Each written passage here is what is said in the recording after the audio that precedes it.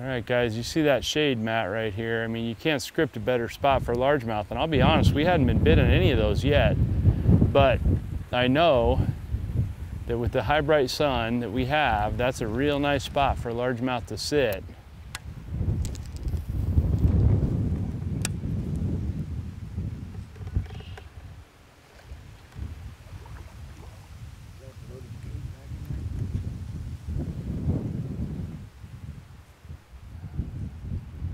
I always fish around dead coots whenever I see them.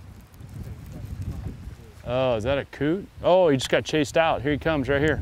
See him? He just chased my bait out. There he goes. We'll see where he goes. Oh, he turned right down on it. He wants it. He's trying to figure out where it went. He's gonna get it out in the open. Oh, look at him, look. He's interested. Okay, so we know this one. You put the bright colored minnow on them. We've already played this game. As soon as you see one, chase them out. You put this thing down there. Yep. Oh, I might have hit him with the line.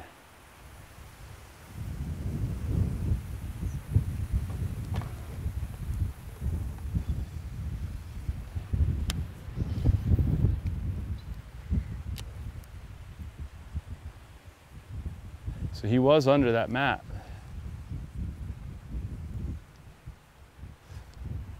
Oh, I wasn't sure if he had it or not.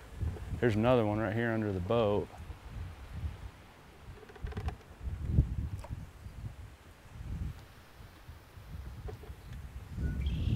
He's on it. He went turned right on it. I can't see if he got it. He got it. Got him. There you go. That's why you throw the colored minnow on him, guys.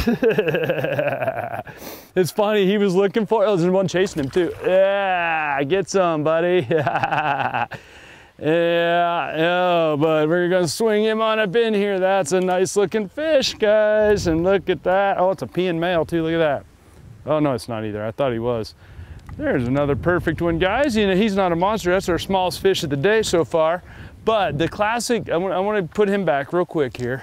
And we'll be nice because we love these guys. Mm, big smooch for you, baby. Look how clear the water is. Here, buddy.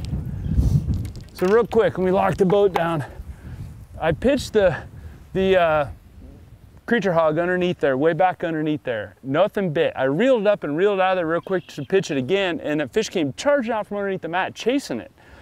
Well, I just, I figured out they really will eat this gulp minnow better than anything else. And I can see when they pick it up. So all I did was set that rod down real quick, pick this rod up, throw it back. The fish that chased it out didn't get it, but another one spun around and got it. So it gives me a chance to see the bait. It's made out of gulp, so they're gonna hold it. And at this point, it's paying the bills. And you guys laugh all you want about me and my gulp minnow. It's catching them now in a spot that nobody would be throwing gulp minnows on a Texas rig on 50 pound braid. It's, it's power finesse, let's call it that, and it's paying the bills. Me and my minnow.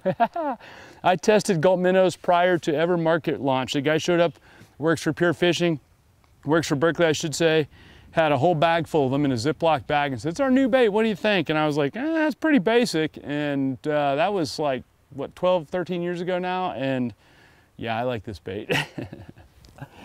oh, dude.